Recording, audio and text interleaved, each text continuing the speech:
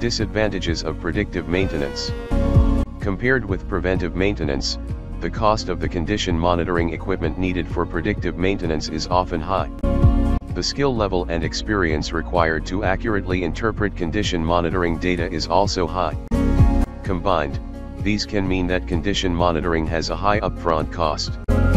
Some companies engage condition monitoring contractors to minimize the upfront costs of a condition monitoring program. Not all assets have failures that may be more cost effectively maintained using preventive maintenance, or a run-to-failure maintenance strategy.